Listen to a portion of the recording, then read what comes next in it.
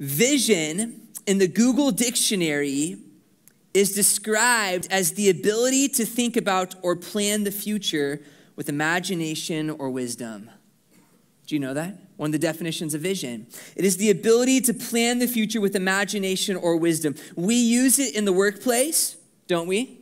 We use it in our own personal lives, and we all have dreams and ambitions, desires for our futures. But where does vision come from? It can come from a boss. Have you ever had a boss or a leader in your life be like, this is the vision for our company and this is your job from now on? You're like, yay. All right, it can come from your boss. It can come from your spouse, just in case you were wondering too, right? It can come from your spouse. It could come from someone you can you respect. It could come from a friend, a book, or even a podcast. All right, but often vision, we find vision in ourselves as our dreams develop in our own hearts. Isn't that true? As you think about life and you learn and you grow, there's like you have dreams and ambitions that rise up, and it's a vision of where I could see myself down the road. So let me ask you this.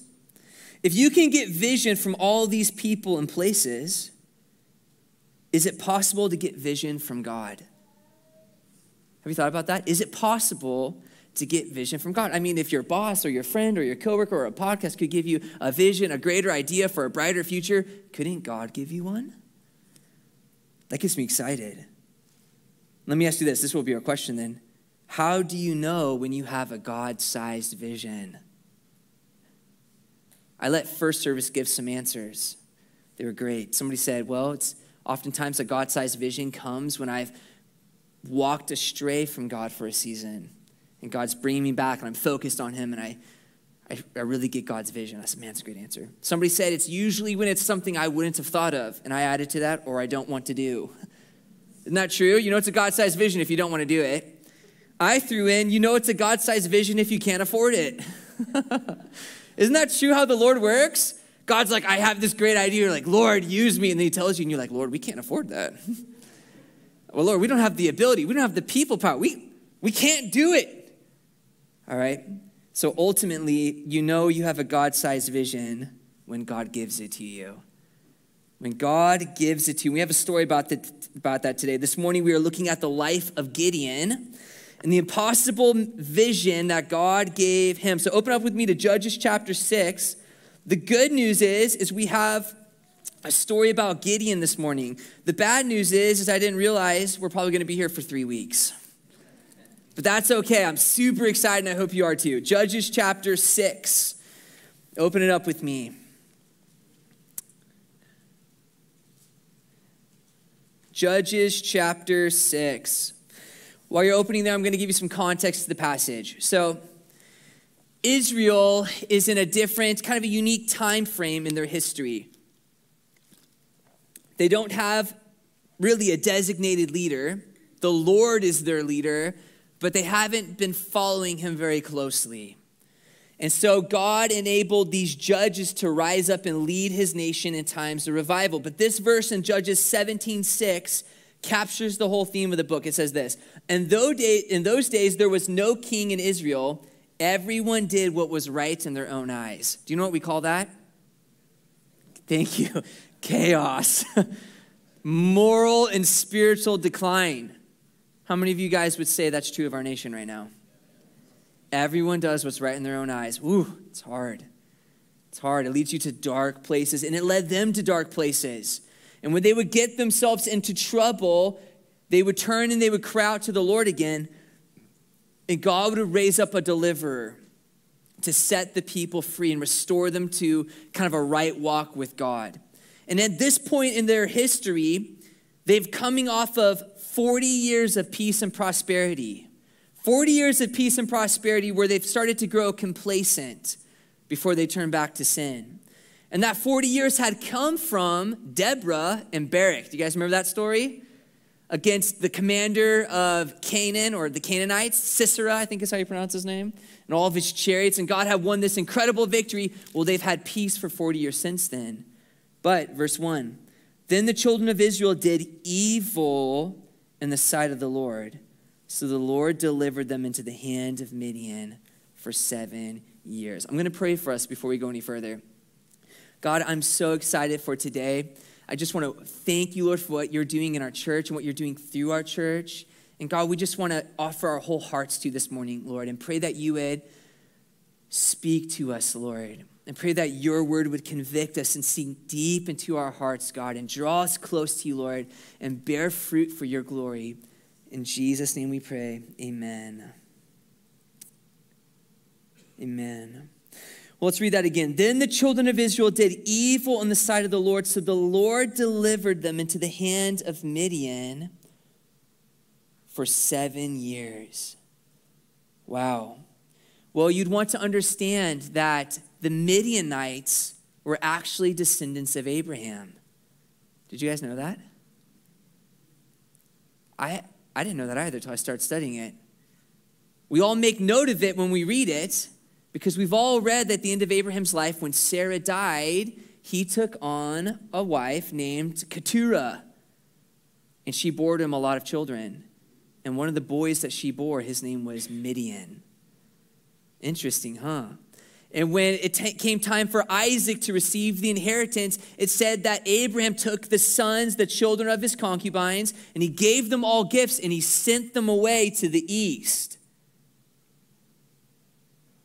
And that's where the Midianites come from. And Israel has, Israel has met the Midianites before. In fact, they met them twice in the book of Numbers and they won in a decisive battle over them.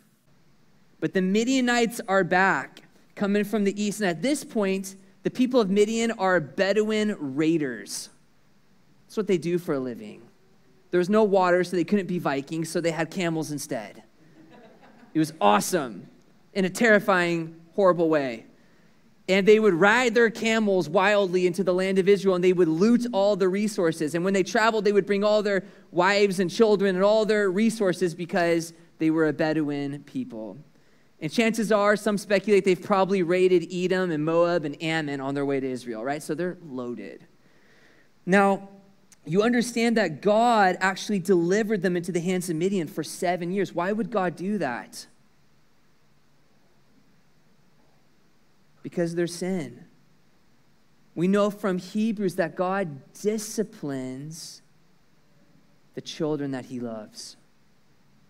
God disciplines the children that he loves. God wanted his people to walk with him. And when they turned their backs on him, he allowed times of hardship, times of discontentment, times of struggle to come upon them. Why? That they would turn and look to him again. And that's what this story is about. So let's keep reading. And the hand of Midian prevailed against Israel because of the Midianites. The children of Israel made for themselves the dens, the caves, the strongholds which are in the mountains. So God's people had to go into hiding. They had to start concealing their resources because every time they got food, the Midianites would come and take it from them. And so instead of living in their homes, now they're living possibly in caves. At least that's where they were hiding all their goods. And they have a heart issue going on, but they haven't realized that. So instead of dealing with it, they're surviving it. They're finding a way to cope with it, but the oppression is heavy.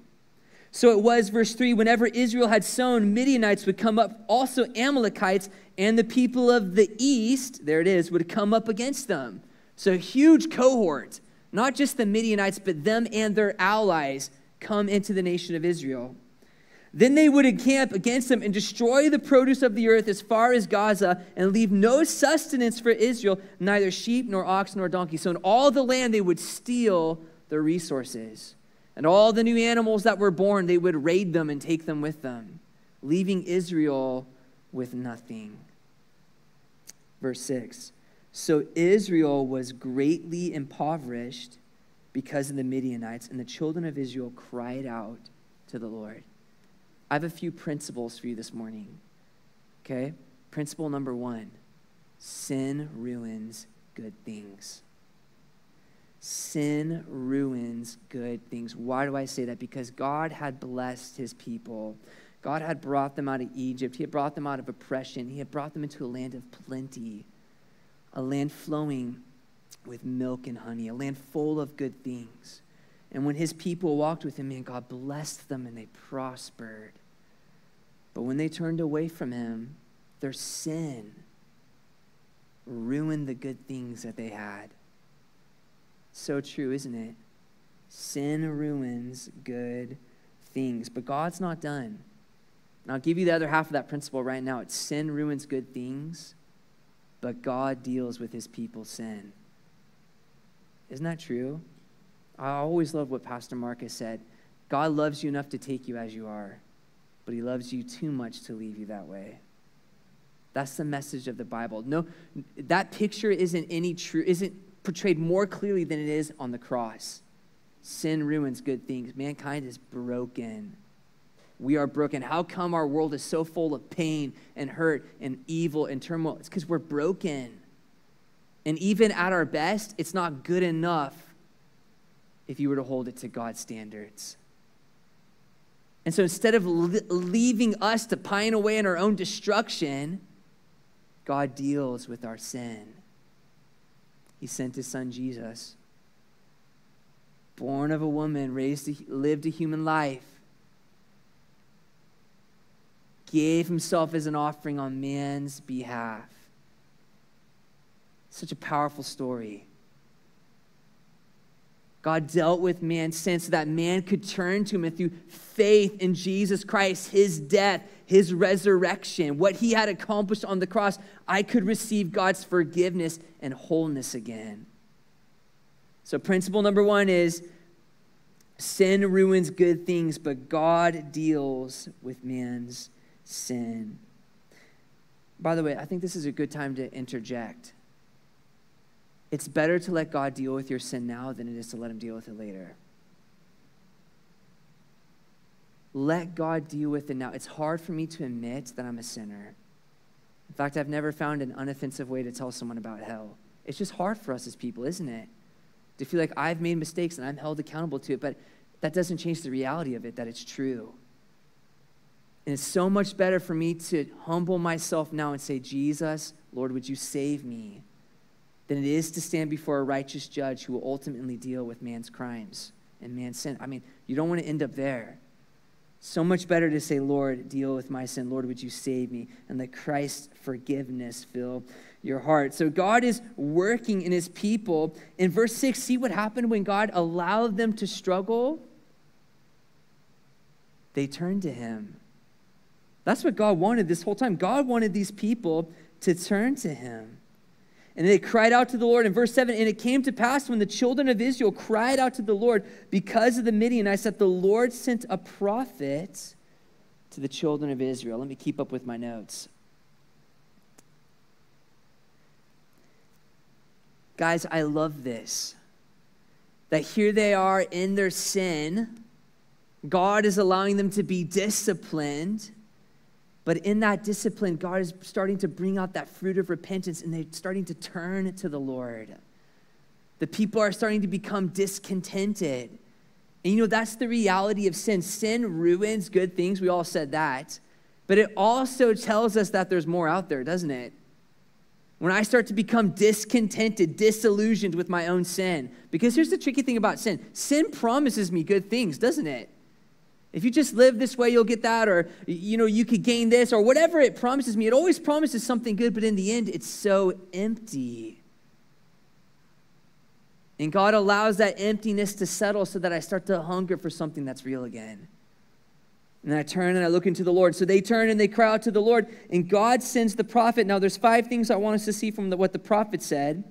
Verse 8 Then the Lord sent a prophet to the children of Israel who said to them, Thus says the Lord God of Israel. I brought you up from Egypt and brought you out of the house of bondage. And I delivered you out of the hand of the Egyptians and out of the hand of all those who oppressed you, and drove them out before you and gave you their land. Also, I said to you, I am the Lord your God. Do not fear the gods of the Amorites, in whose land you dwell, but you have not obeyed my voice. So, five things I want us to see from what the prophet said God's message to them. First off, God still identifies with his people. Did you notice that? Here they are. They've been in sin. They've actually been worshiping Baal. They've, it's not just they're in sin, they've fallen into idolatry. They're worshiping a different God, a fake God. And yet, though they've abandoned the Lord, He hasn't abandoned them. In their faithlessness, God has remained faithful. He says right here that the Lord God of Israel, He still identifies as their God. The second thing I want us to see is God reminds them of how he redeemed them. God is so good to do that. Look what he says right here I brought you up from Egypt and brought you out of the house of bondage. You know what? When I fall into sin, when you and I fall into sin, God is so good to remind us in our brokenness of how he's formerly redeemed us.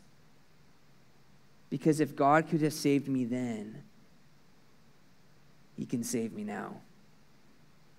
That's why God shares that. You got to remember, I brought you out of Egypt, right? When you were slaves and you were oppressed, and I delivered you. And He can deliver them again.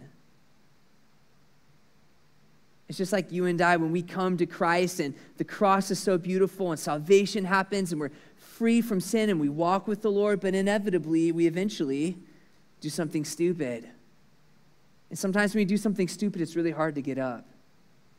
You're like, how am I going to get out of this pit? The same way you got out of the last one God's grace. God's the one who's going to pick his people up out of the pit. This is the third thing I want us to see. God reminds them of all the good they've ever experienced and how it's come from him. Oh man, I love that about the Lord. He said, I delivered you out of the hand of the Egyptians and out of the hand of all who oppressed you and drove them out before you and gave you their land. Why does God do that? Because you and I come to realize quickly when we walk with the Lord that everything good you and I have is an extension of God, isn't it? Have you ever wandered from God for a season and realized how hard life is apart from Him? Every good thing you and I have as His children, it's an extension of His grace. It's an extension of His favor and His goodness towards us. And God reminded them of that. The fourth thing God says is He makes His desires clear to them. He wants to be their God. Look what he says right here. Also, I said to you, I am the Lord your God. God wants to be the God of his people. He didn't want them to have idols, he didn't want them to fear other idols. He just wanted them to fear him. Guys, and there's such a good word for you and me in our heart, uh, uh, for you and I in our own hearts today. Is my heart crowded out with fear of things that doesn't really matter? You know, we don't, in America, for the most part, we don't carve like little wooden people and worship them. You know, it's like not our thing. Some of us worship our football teams too much. You San Francisco fans out there, I'm talking to you. All right, but other than that, we don't really have a lot of physical idols. But that doesn't stop us from worshiping something. So God reminds them, Look, I, I want to be your God. And the last thing he says to them is, I want you to obey my voice. God's desire for his people, especially, but for all people, is that he would be their God and they would hear his voice. The fifth thing that God shows them from the prophet is where they went wrong. They didn't know up to this point. All they knew is life was tough. Okay, life is tough. We've missed something somewhere. And they turn back to the Lord and say, Okay, God, we missed something. And by the way, if you're going through a really hard season, that is not a bad question to ask. In fact, write this down. This is gold right here. Ask God that before you're in a bad season. I've learned to do that. Sit down and say, just write it out in my prayer journal, whatever. Say, Lord, what am I missing? Because you and I, we're like the sheep. We just can't, can't really walk straight. God's going this way and we're following, and we just start to list to the right. And it's a healthy question to stop and turn to God and say, Lord, what am I missing? There's something I'm missing. God shows them where they went wrong, and in that, God opens the door for them to repent and be restored. They hadn't listened to the Lord, but it was their idolatry that led them into this sin. So, this is the conclusion from the prophet's message. The Midianites were not their problem, their hearts were. Isn't that interesting? The Midianites were not their problem, their hearts were. The, the Midianites were just a symptom of the poor choices they had made. If they were to get their hearts right with God, God would deal with their enemy. This is an incredible point. It's not on your notes, but you can write it down if you like. Sin, when God's people walk in sin, it renders them powerless to their enemy. It does. When you and I walk, walk um, how do I want to say this? When you and I walk differently, or, sorry, I hit my head really hard this weekend again. I don't know what's up with my melon. I just keep banging it. And since then, I've struggled putting words together on and off. I think I'm fine. I think. I don't know what I'm saying, but if God's going that way and you walk that way, there's going to be a problem. That's what I'm trying to say to you, okay? Forget the fancy words. I should have written it down. That's why I'm, reading my notes today a little bit. You guys probably noticed. Okay? So it renders God's people powerless to their enemy. But when you and I address the sin and let God deal with our sin, then, then God can deal with our enemy. It's so true. But apart from walking with God, we're powerless. When does Satan have a heyday with the church? Well, when the church isn't following God, because God's the strength of his people. So the Midianites were not their issue, their poor choices were. And if they could admit that, if they could bring their hearts to God, God could change it. Well, this is where the story gets super good. And this is about the point when I realized I had way too much content in first service. Verse 11, this is what it says. Now the angel of the Lord came and sat under the terebinth tree, which was in Ophrah, which belonged to Joash the Abiezrite, while his son Gideon threshed wheat in the winepress in order to hide it from the Midianites. Why I love this verse is because this is where the main character gets introduced. It's not Gideon, it's Jesus. This is actually a Jesus story. And by the way, do you know that the whole Bible is a Jesus story? It's telling the story of God. In fact, some people put it together like the little creative where it's like it's not history, it's his story. Ooh, pretty cool. Write that down, huh? His story, okay? But this is a Jesus story. Now, why is it a Jesus story? Look at the character who comes in verse 11. He's the main character. It's the angel of the Lord, capital A. Now, this angel of the Lord, he shows up often in the Old Testament, and we know a couple things about him. When he shows up and he speaks, he speaks audibly as God. When he speaks, the Bible attributes it to God speaking. And not only that, when people hear him speak, they attribute it to God. They don't say, wow, an angel appeared to me. They don't say, I had a vision. They say, oh no, I saw the Lord. And the people are actually filled with terror, like the kind of terror that Peter and James and John got when Jesus was transfigured before them and they saw his glory on the mountain. They saw him for who he was, God's son and they became terrified. This person is no other than Jesus. It's a theophany, an Old Testament appearance of Christ. Now, you might say, How do we know it's Jesus? Isn't God the Father, God the Son, God the Holy Spirit? Mark can talk about that more in hermeneutics, but this is what it is. Real short. We know no one's seen God the Father because the Bible says that. No one has seen God at any time. John wrote that. We know Jesus is the expressed image of the Father. That's why when Philip said, Show us the Father, Jesus said, You've seen me. I'm the image of the Father. And we know that the Spirit of God is always personified as fire or a dove or something like that because he's a spirit. The only person actually in the Bible who appears in human form as God is Jesus every single time. So, this is a Jesus story, and Gideon is living in it. I love that. That's what makes Gideon's life so great. Not that he was a super awesome dude, it's that he was living in a Jesus story. And when Jesus asked him to be a part of it, Gideon said yes. We're going to talk about that later. But guys, for you and I as a church today, we're living in a Jesus story too. Guys, I hope you know it. God has been so speaking to our church, giving us a vision for the future a vision for the future that God wants to reach people in Southern Oregon. Not just Talent, Phoenix, Medford, Ashland. We're talking all of Southern Oregon. He's calling you and I to be a part of it. He's calling you and I to be a small piece in his story and what he is doing. And the question you and I need to ask ourselves is are we going to say yes to Jesus? I was going to talk about it later, but I'm just going to talk about it right now because we may run out of time, okay? The key to living a life that is fully leveraged for the glory of God, or the key to living a life that when you get to the end of it, you look back and you say, I have no regrets. The key to living that kind of life is saying yes to Jesus often. That's the secret sauce. Say yes to Jesus often. It's really easy. He wants to do something, He wants to invite you and I to do it, but who's going to say yes to it? And the people who say yes to it, they're the ones who live the wild life, the adventurous life, the hard life, but the worthwhile life. Say yes to Jesus often. If you and I, as God's people, we could just learn that one little step of faith, our lives would be radically changed. Radically changed. I mean, God has a good plan for us as a church. And if you're here seeking the Lord, you don't know the Lord yet, God has a good plan for your life. The greatest thing you could ever do is say yes to his son Jesus and follow him. Greatest thing you could ever do. It will actually transform you, the Bible says, from the inside out. Well, let's keep reading. So Jesus is here and he's incognito. He's undercover.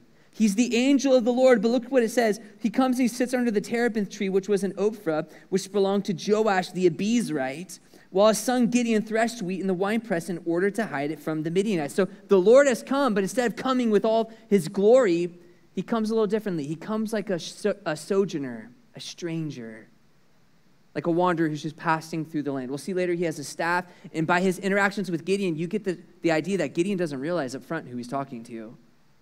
So Jesus has come. He's sitting by the tree, watching Gideon thresh wheat in a wine press. Now we meet Gideon, my boy Gideon. Okay, the first thing we realize about Gideon is he's not the bravest dude on the block. Okay, he is threshing his wheat in a wine press. That's where you make wine, not bread. That would be a threshing floor, if you were wondering what the term would be that he needs. Now, the reason he's in the wine press is because he's afraid the Midianites are going to see that he has grain. Because remember, anytime the Jews harvested their stuff, they come and they take it away. so normally you would have your threshing floor, this is what I understand, on a higher location like a hilltop or something, where the breeze could blow the chaff or chaff, however you want to say that, away as you thresh the grain. You would need oxen to tread it out, and you know, it's you got to throw it up in the air. There's quite a bit of work going into it. And you need that fresh air to really make it happen. Well, Gideon is in a wine press trying to thresh grain. You can imagine it's probably not working very well. And the other thing you could probably imagine is he probably doesn't have a lot. Wine presses weren't that big. So if he's doing his grain in there, it just tells you how poor they actually were. Gideon probably didn't have a lot. And he's afraid. He's trying to hide what he does have. And the angel of the Lord appeared to him and said to him, Oh, I love this. The Lord is with you, you mighty man of valor. Here's Gideon in the wine press. He thinks he's all alone. I wonder if that caught him off guard. Because the whole time he's like, Do you think the Midianites are here? Do you think? And all of a sudden the Lord's like, Hey, mighty man of. He probably jumped, threw the grain a little higher that time. Okay? Well, it catches him off guard. And I, I have no doubt he looked over his shoulder both ways. Are you talking to me? I'm, I'm the only one in here. Who are you talking to? All right, this is what we're going to see about Gideon. Gideon has a very low opinion of himself, a very humble opinion. And the Lord is not mocking Gideon when he comes to him and says, Mighty man of valor. God is speaking to his calling and his potential, not his behavior. God is speaking to his calling and his potential, not his behavior. Because God knew what he was doing in Gideon. He knew what Gideon could be, and he was calling Gideon to rise to it. And this is the other key you want to know is the Lord is with you. God's going to keep telling him that over and over. Gideon, the Lord is with you. Gideon, I'm sending you. Gideon, I'm going to be with you to deliver you. The reason Gideon could, Gideon could be mighty, the reason he could be courageous, the reason he could be victorious is because of that one statement right there the Lord is with you. If Jesus is with you, that changes everything. Now, this is our principle number two. And that is when God gives his people a mission, he also gives them a commission. When God gives them a mission, he gives them a commission. When he gives a plan, he calls you and I to be a part of it. Gideon's about to find that out. They're in trouble, they're oppressed. They're asking God to deliver them from Midian. God wants to deal with their sin, but He's also going to deal with the Midianites. And in order to do that, He's going to call Gideon to lead an army. Gideon, who's hiding in the threshing floor, I'm hiding in the wine press, threshing his grain, he's going to call Gideon to lead an army. I think the Lord must have so much fun putting his plans together. Who's the last guy everyone else would pick? Him. That's who we're going to do it with, him right there. And look what it says. Gideon said to him, and his answer is kind of pathetic in some ways. Oh, my Lord, if the Lord is with us, why then has all this happened to us? And where are all of his miracles which our fathers told us about, saying, Did not the Lord bring us up from Egypt? But now the Lord has forsaken us and delivered us into the hands of the Midianites. Do you guys remember the old Star Wars movie? You guys watched the old Star Wars movie? The original ones with Luke Skywalker, and he's like super whiny all the time, complaining. And you're like, what kind of a hero is this? My dad always called him Luke Skywiner when I was a kid. all right, well, this is our Luke Skywiner. He's scared, he's despondent, he's hopeless. They've been oppressed, he's been looted and raided, he's been afraid for his life for years. And the Lord steps right into that hopelessness, that darkness, and he starts to speak hope there. He goes, Gideon, I got a plan, and I want you to be part of it. And you know, Gideon is so overwhelmed by his own insignificance that he's missing out on the significance of the one who stands before him. And Gideon's not wrong in what he's saying. God did deliver them to the Midianites, but he assumed that that meant God had abandoned them. That was wrong. Couldn't be any further from the truth. God hadn't abandoned them. God was so for them, he allowed Midian to oppress them so they would return to him.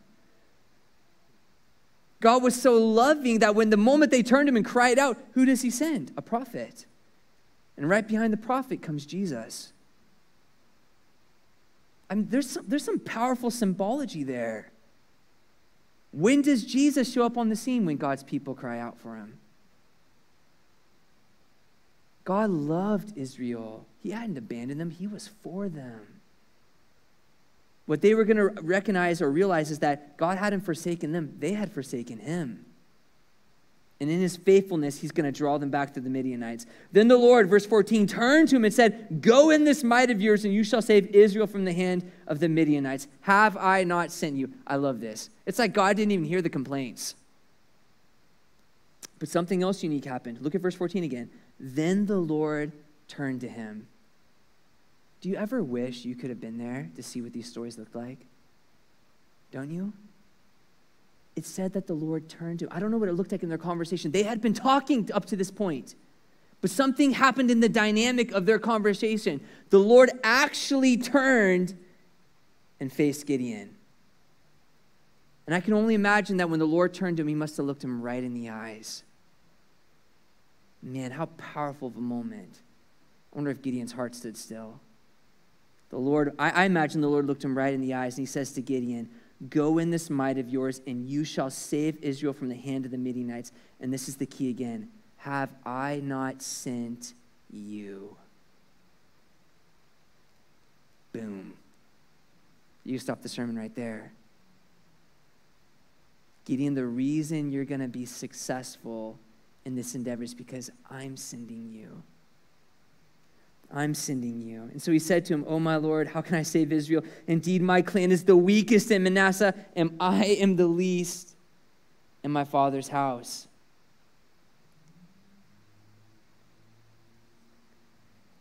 God doesn't deny Gideon's view of his own inability. But if Gideon had lived like four or five hundred more years after this, if I have that timeline right, I probably don't. It's longer than that he would have met somebody named Paul. Would have been closer to a 1,000, wouldn't it, Mark? 800, right? 402 and then 400 again. So closer to 800. If he had lived a thousand years, he would have read Paul's writings later when Paul wrote and said that God chooses the weak things of the world, the insignificant things, the base things, the foolish things. Those are the things God chooses. And God uses those weak things to put to shame the strong so that at the end of the day, no one can take the credit for it. All the glory goes to the Lord. So Gideon's looking at God going, You've picked the wrong candidate. And the Lord goes, No, you're the perfect candidate. And guys, that's so encouraging. I've always told people, Do you ever feel like you're like less than stellar? Have you ever felt that way? You're like, some of these people, God loved them just a little bit more. I feel insignificant at times. I feel weak. Guess what? I'm the perfect candidate. If you feel that way, you are the perfect candidate for God to use. And God can use you to do mighty, incredible things. He can and He will. I believe that. And look what he says to Gideon after Gideon says that. Uh, verse 15. So he said, oh, sorry, verse 16. And the Lord said to him, Surely I will be with you, and you shall defeat the Midianites as one man. The third time, Gideon, I am with you. I am calling you. First, he said, The Lord is with you. Then he said, I'm calling you. Now he's saying, Dude, I'm with you. I'm with you, Gideon. When God gives a vision to his people, he's the one who sees it through to the accomplishment. God is. And it didn't matter how many soldiers Midian was going to bring. They brought themselves, they brought Amalek, they brought everyone with them. It doesn't they could bring as many people as they wanted. They were doomed to lose because God was with Gideon. There's another way you could look at it. No matter how bad the odds were, there was no way Gideon could fail because God was with him. Guys, that's so powerful. And it's such a good word for you and I as the church to live with that idea of God's greatness again. If God is for us, who can be against us? That's actually our third principle. If God is for you, who can stand against you? No one can. Paul wrote that in Romans chapter 8. When God calls us and He's with us, the outcome is certain because the outcome rests on Him. My part, your part, Gideon's part, is just to say, Yes, Jesus. Okay, it doesn't make sense to me. Even when Gideon, we'll see next week, when Gideon gets the biggest army he can possibly get, it still wouldn't have been enough by human means to win. He was outnumbered. This is an impossible vision. God was asking him to do something there was no way he could accomplish. There was no way Israel could accomplish. But they were going to accomplish it anyways with 300 people, by the way. 300 people. How many of you guys have ever been like, you know what, let's go to battle? They have thousands upon thousands, countless. On top of that, they also have camels, hairy beasts upon which they ride and me and my 299 buddies are going to go kill them all. I mean, what kind of battle plan is that? They did it. We're going to get there in a few weeks. There's no way they could have lost because God was with them. Don't you know they were terrified? but God was with them, God was for them, and that was all they needed. Principle number three if God is for you, who can stand against you? This is what I want to say to you guys God has given us an audacious vision as a church. An audacious vision. It's not just like the Lord's like, hey, I want you to reach Ashland. That would have been hard enough. Hello, does anybody, everyone who lives in Ashland, we all know that, right? That would have been hard and weird enough.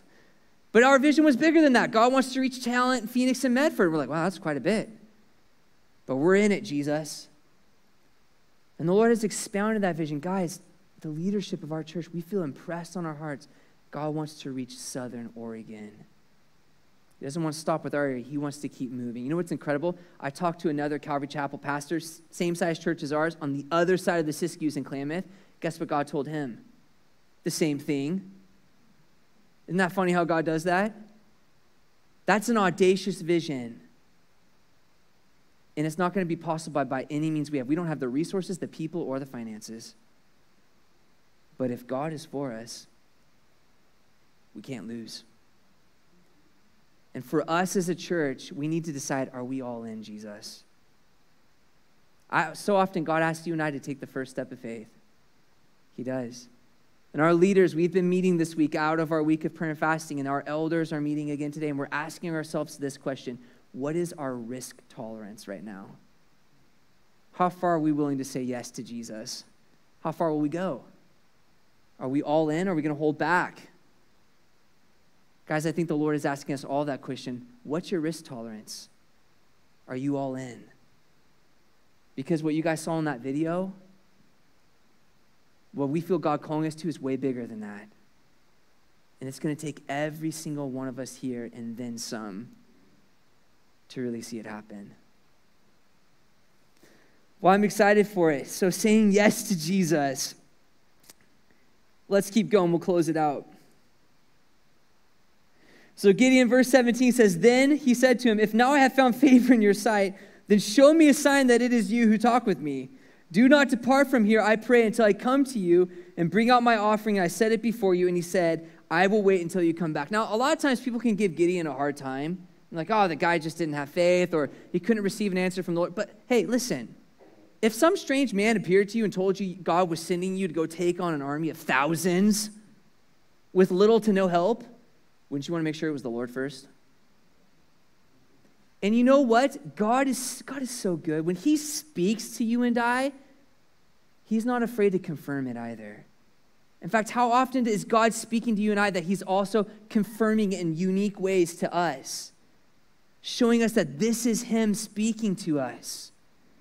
And so Gideon says, Hey, can, I, can, I, can, we, can we discern if this is the Lord? Can I go bring an offering? And God says, Absolutely, Gideon. Go bring your offering here. And I love this part. So Gideon went in and he prepared a young goat, cooked up a young goat, and unleavened bread from an ephah of flour. The meat he put in a basket, and he put the broth in a pot, and he brought them to him under the terebinth tree and presented them. I don't know what kind of sacrifice Gideon was making, but he runs into the house, he cooks a whole goat, makes broth with it, and has all the meat in the basket and the bread. He comes running back out to the Lord. It probably took him a couple hours, and the Lord's waiting for him. Verse 20 Then the angel of God said to him, Take the meat and the unleavened bread and lay them on this rock and pour out the broth. And he did so. Then the angel of the Lord put out the end of the staff that was in his hand and touched the meat of the unleavened and the unleavened bread, and fire rose out of the rock and consumed the meat and the unleavened bread, and the angel of the Lord departed out of his sight. Man, if you were asking for a sign, you just got it. Hey, I, you know, this is a great vision you got here, but let's really make sure this is the Lord. This is what happened to Gideon. Now, Gideon, because he's a sharp dude, perceived that he was the angel of the Lord. It's at this point Gideon realized he was with God. So Gideon said, Alas, O Lord God, for I've seen the angel of the Lord face to face. Gideon's like, I'm going to die. Then the Lord said to him, Peace be with you. Do not fear, you shall not die. Can you imagine what that must have been like? All right, arrange the bread and the meat, poured out the broth, and the angel of the Lord touches it, and the rock Fire, fire comes out of the rock. I don't know how that worked, but it did. It said fire came out of the rock and it totally torches the sacrifice, and Jesus vanishes from sight. Whoa. But there was a better, there was a bigger exchange that happened there. Because up to this point, God was appearing to Gideon as the sojourning stranger. But from now on, he's going to talk to Gideon in a very personal, conversational way. In fact, if you were to look at this, to me, I highlight that it's at this point Gideon went from encountering God to a personal relationship with God. I don't think he was just the Lord God of Israel anymore. I think he was the Lord God of Gideon. Because when God speaks to Gideon from this point on, it's, he's not appearing to Gideon physically to make it happen. He's not sending a prophet to share with Gideon what needs to happen. He's just speaking it directly to Gideon. However, that worked in Gideon's heart and his mind, however, he heard God's voice, just like God speaks to you and I as we seek him. Gideon entered this relationship with God, and God is now directing his life. And so the Lord speaks to him after this powerful exchange. He says to him, Peace be with you. Do not fear, you shall not die. So Gideon built an altar there to the Lord and called it, The Lord is Peace. To this day, it is still in the Ophrah of the Abiezrites. The Lord is peace. We don't have time to develop all of that today. But what a powerful picture of the gospel. Paul would write later that it's Christ who made peace between me and God, that I could receive God's forgiveness. Chuck Smith would always put it this way because Paul would write his letters, grace and peace from God the Father. You guys remember that? Well, Chuck Smith would always say, You cannot know the peace of God until you've known the grace of God. And you can look at this moment. Gideon has known the grace of God, and now he's experiencing God's peace. And maybe you're here today and you're looking for that peace. And the first thing you need is God's forgiveness, God's love in your life. The peace follows that. Well, let's close this out. I've said that twice now. We really are going to close this out. First service, I didn't lie to them. I just told them the truth. I said, Look, guys, I apologize. I have way too much content, so I'm just going to preach you all to death, and I'm going to reorganize it for second service. All right, let's end it out then. so Gideon built an altar to the Lord there and called it, The Lord is Peace. Verse 24. To this day, it is still an Ophrah of the Abiezrites. Now it came to pass the same night that the Lord said to him, Take your father's young bull and the second bull of seven years old, and tear down the altar of Baal that your father has, and cut down the wooden image that is beside it, and build an altar to the Lord your God on top of this rock in the proper arrangement, and take the second bull and offer it as a sacrifice with the wood of the image which you shall cut down. We're going to talk about this more next week, but I want to give you a few thoughts. A few thoughts, okay? First is this God wanted him to deal with the sin issue first. Okay, Gideon, I'm going to use you. We are going to defeat Midian, but before we do that, we got to deal with the sin. The household idol that your father and that your town worships, that's got to go away. I think for a couple reasons and probably the big one is, is God didn't want them to go out and beat the Midianites and say, well, who knows? Maybe Baal did this for us. We've been worshiping him. No, God was making it clear he was the one delivering them. So the idol had to go. But also, there's something else to that God wants to deal with our sin, remember, as his people, before he deals with our enemy. It's going to deal with our sin first. you want to get in to do that. The second thing you want to notice from this is that God told him to take the two bowls, his father's two bowls. Now, I imagine he probably used those for pulling the altar down. But God told him to offer the second one as an offering. How long had the children of Israel been oppressed by Midian? Seven years. How old was the second bowl? Seven years. Isn't that interesting? Something significant there. The last thing I want you to see, and we'll end the sermon here, and worship team, you can come back on up. After he tears it down, and by the way, it's so cool. God's like, I want you to go rip down the altar of Baal. I want you to take the wood image, which was an Asherah pole, and I want you to chop it up. And then I want you to slaughter your dad's ox. And I want you to take the wood from their idol and use that as the firewood for my offering. How cool is that? I mean, God knows how to get it done. But there's something you want to see here. Look what it says, verse 26. And the Lord said to him, And build an altar to the Lord your God on top of this rock. That word could also be translated stronghold. Gideon, I want you to build an altar to the Lord your God on top of this stronghold and the proper arrangement. God was, gonna, God was going to take what was a stronghold of darkness and turn it into an altar for praise. And I firmly believe in my heart that that's how God works. That's why Peter could write and say, God has called us out of darkness into his marvelous light to declare his praises. And guys, for you and I as a church, this is a dark place with dark, dark strongholds. But I'm convinced that in the places of those strongholds, God wants to set up altars for praise. God wants to see men and women coming to faith in Jesus, turning to Jesus, receiving the love of Jesus. And he's calling you and I to be a part of that. The question we need to ask ourselves is are we willing to say yes to Jesus? So, worship team.